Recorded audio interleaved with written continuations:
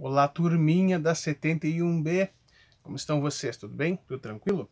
Então, vamos tocar a ficha hoje, que nós estamos com material para ver, então precisamos adiantar as coisas, tá bom? Vamos lá.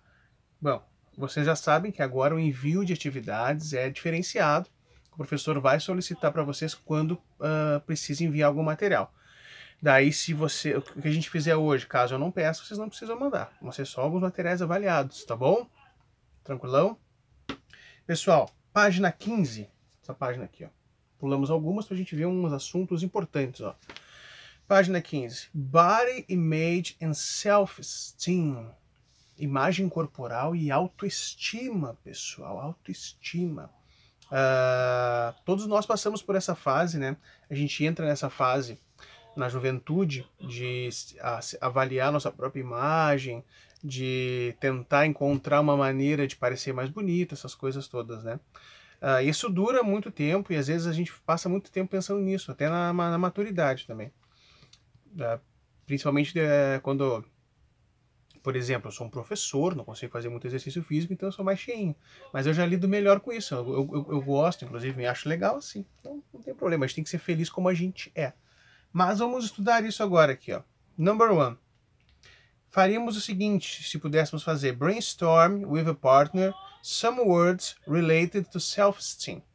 Pensaríamos algumas palavras uh, relacionadas à autoestima, uh, mas em inglês. Mas nós temos umas aqui embaixo, aqui, ó, uh, que podem nos ajudar nos dar um norte, que é no exercício number two, olha só. Which of the following words is not connected to self-esteem?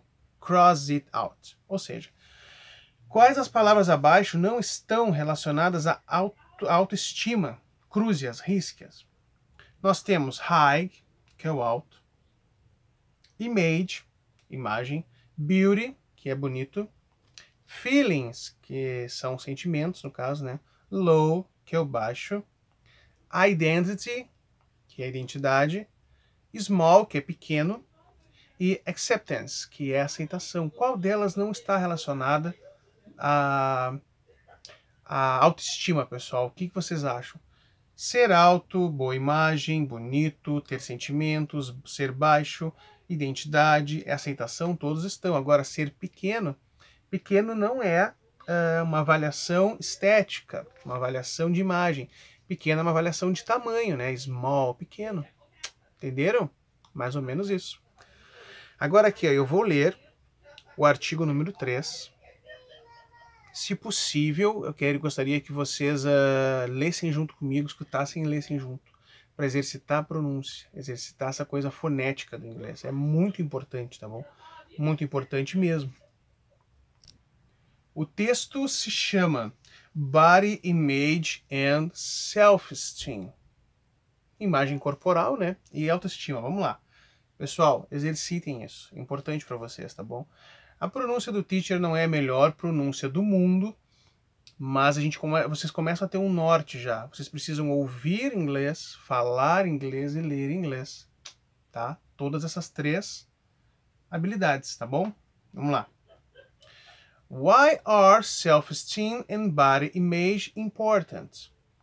Self-esteem is all about how much people value themselves.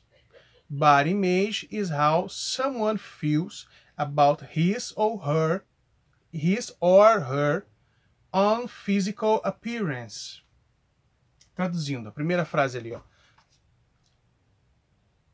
Por que uh, autoestima e imagem corporal são tão importantes?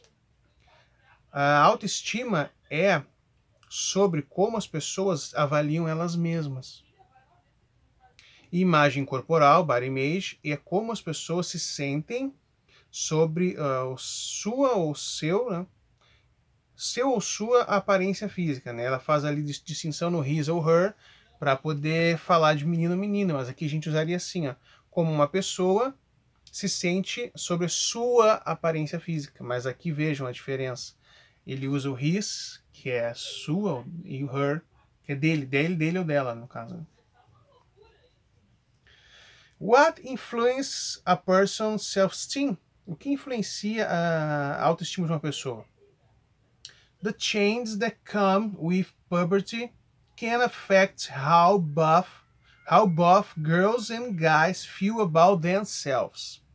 As mudanças que vêm com a puberdade podem afetar como uh, tanto o garoto quanto a garota se sentem uh, sobre si mesmo, né? Some teens may compare themselves with the people around them or with actors and celebs they see on TV, in movies or in magazines. Family life can sometimes influence self-esteem. Legal, deu para entender? Sem começar a inferir o sentido, mas eu vou traduzir. Uh, as mudanças que vêm com a puberdade podem afetar como os garotos e garotas se sentem sobre si mesmos, já falei. Alguns adolescentes, some teens, may compare themselves with the people around. Pode se comparar com as pessoas ao redor deles, around them, around them, ao redor deles. Or with actors and celebs, ou com atores e celebridades they see on TV, movies or magazines, que eles veem nas, na TV, nos filmes, nas, nas, nas revistas. Family life can sometimes influence themselves. A, a vida familiar pode influenciar a auto, autoestima também. Uh, influence self-esteem, desculpa, falei errado. Types for improving your body image. Como uh, melhorar sua, sua imagem física, né? The first thing to do is recognize that your body is your own, no matter what shape, size or color it comes in. A primeira coisa a fazer é reconhecer que o seu corpo é seu, sua casa, não diz isso, mas sua casa, seu mundo. Não importa qual forma, tamanho ou cor venha a ter, tenha. Então, o que que esse, o que que esse esse texto quer dizer para nós, pessoal? Que a gente não precisa, não precisa ficar se importando muito com o que acontece no universo da, das celebridades, por exemplo. O teacher vai explicar uma coisa para vocês.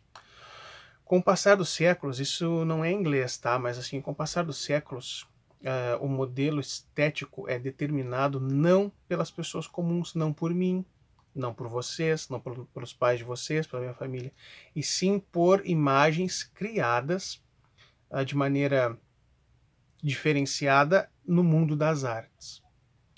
Por exemplo, há, há um tempo atrás, vou contar uma história rápida para vocês. Há um tempo atrás eu entrei num projeto meu chamado Projeto Superman. Eu queria ficar forte igual Superman. Porque eu sou fã do Superman o Superman sempre foi forte. E eu via os filmes e pensava, pô, quero ficar forte assim. Gente, não deu. É muito trabalhoso e não é para mim. Por quê? Porque as minhas escolhas de vida são diferentes. Eu sou um cara que gosto de ler, gosto de tocar, escrever, gosto de ver filmes. Então isso me torna uma pessoa diferente. Eu não sou um atleta. E a maioria de nós não são atletas. A gente faz atividades físicas só para se manter saudável. Então a gente não precisa sofrer para ficar parecido com a com o Superman, com o Capitão América, com o Thor, com a, com a Mulher Maravilha, com a Beyoncé, com a Rihanna, sei lá quem são as. Com a Isa, aquela cantora de funk, por exemplo. Não precisa só, a gente não precisa pensar nisso. A nossa vida é a nossa vida. Meu corpo é meu corpo. Eu sou muito feliz com o meu corpo, porque eu quero dele é que ele fique saudável e eu fique bem. É isso. E a gente vive nele, feliz da vida. Entenderam? Vamos continuar. Ali, ó, nós temos uh, palavras, né? Para vocês ligarem uma a outra. Uh, body image, self-esteem, media and improving. Improving é melhoria. Mídia é a, a, a mídia, né?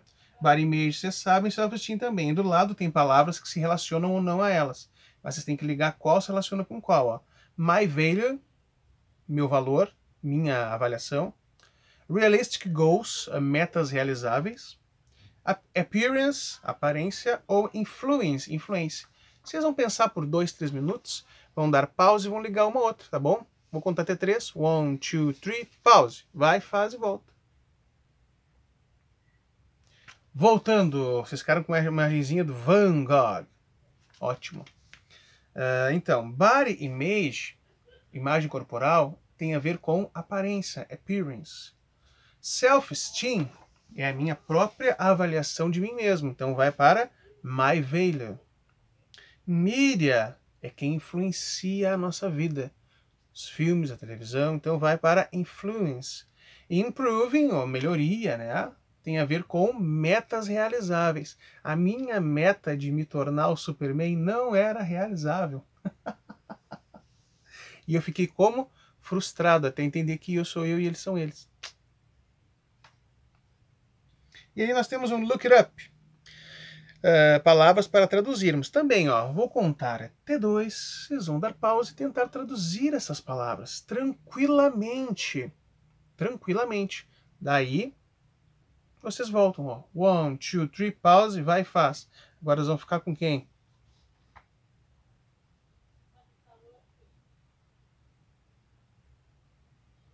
Voltando, vocês viram as imagenzinhas aqui? Uma do Andy Warhol e outra do Matisse. Eu amo arte, gente. Eu amo arte. Vou contar uma coisa para vocês. Eu gosto de tocar e escrever. Não, eu não toco muito, mas eu escrevo melhor. Se eu pudesse, eu viveria só de escrita e de música. O resto tudo eu faço, eu gosto da aula, né? Mas o resto tudo eu faço pela minha família, pra gente ter nosso dinheiro, essas coisas todas. Eu gosto muito de arte. Gosto muito de arte mesmo. Traduziram? Vamos lá então. Changes é mudança. Improving, melhorar. Essa melhoria que eu falei. Matter, importa, importância, importante. Own, próprio, meu, eu. Puberty, puberdade, adolescência. Self-esteem, autoestima. Shape, isso vocês têm que saber desde o terceiro, quarto ano que eu vi isso, que eu estou vendo isso com as crianças. Forma. Themselves, esse them é com a língua no meio do dente, ó themselves. Eles mesmos, elas mesmas. Types, dicas. E within, within, de dentro. Dicas, ali eu falei tipos, falei errado lá em cima, é dicas. Tá? Tranquilo, vamos passar para a próxima página agora.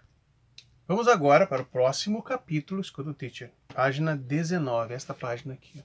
São coisas importantes que eu quero trabalhar com vocês. Vamos lá. Be like and look like. Ó, página 19, mostrando de novo. Ali, ó, with which characteristics do you associate with these occupations? Match them and discuss with your classmates. Bom, quais características vocês associam a essas ocupações? Uh, marque-as e discuta com seus colegas. Não dá para discutir com os colegas. Nós temos ali, ó, letra A, doctor, vocês sabem o que é. Letra B, architect sabem o que é também. Letra C, tattoo artista, tatuador. Letra D, teacher. Letra E, business person, homem de negócios, pessoa de negócios. Letra F, actor. Nós temos ali embaixo características, ó. Creative, criativo, funny, talkative, funny é divertido, talkative, falante, falante, falando inglês em português. Organized, organizado, serious, sério, and shy, tímido. Vocês vão dar um pausezinho e marcar ali quais vocês acham que se relacionam com as profissões, tá bom? One, two, three, go! Voltando. Eu marcaria, como é uma questão de opinião, eu marcaria, ó. Uh, uh, tattoo artista eu marcaria como creative, letra C, primeira. Funny, eu marcaria como uh, actor, ator, letra F. Talkative, business person, pessoa de negócios, tem que negociar muito. Organized, eu marcaria doctor. Pois é, shy, shy envergonhado, eu não falei, né? Shy, vergonha. E serious, serious, puxa vida. Serious, Uh, architect and também, dá para marcar duas vezes, eu acho aí, né? Business person também, uh, doctor também. Shy, envergonhado. Acho que o tattoo artist seria envergonhado também, né? Faltou teacher. Teacher, como teacher como eu, teacher lindo e maravilhoso como eu, é funny, creative and talkative. Only. Organized, eu sou mais ou menos. O que, que vocês acharam? Legal, né? Eu acho que, acho que hoje nós vamos ter dois vídeos, tá bom? Vamos preparando, porque tô vendo meu tempo no celular aqui, não vai dar para gravar muito mais, então vamos fazer dois vídeos. Vamos pensar aqui, pessoal. Number two, what do these people look like? Como essas pessoas parecem? Vocês lembram que nós estudamos, uh, vocês estudaram em outras séries, características pessoais, assim? Lembram disso ou não lembro? Ali, ó, nós temos uh, várias pessoas conhecidas, eu não conheço. O Scott Campbell, não sei quem é. O Marcelo Galega, eu não pesquisei também para saber quem é. Desculpa. Aí o Maravilha, matriz. Falcão, cantor. E o Pat Adams. Pat Adams é um doutor. Tá? Agora aqui, ó. Vocês, nós vamos ver características físicas dessas pessoas escrever aqui, ó. Vamos comigo. Não precisa se desesperar. O Scott Campbell, ele parece um cara alto ou baixo para vocês? Para mim, ele parece um cara alto. Então, eu vou colocar ali que ele é tall. T-A-L-L, alto. O cabelo dele é escuro, né? E é curto. Tá certo? É um cabelo escuro para mim, pelo menos. Então, deixa eu colocar assim, ó, numa daquelas linhas. Uh, short, dark hair short, dark hair. Short, S-H-O-R-T, dark, D-A-R-K. E hair, você sabe escrever, né, pessoal? Ele está sério, então ele é serious. Sirius não é o mesmo Sirius Black do Harry Potter, é Sirius S-E-R-I-O-U-S. Sirius.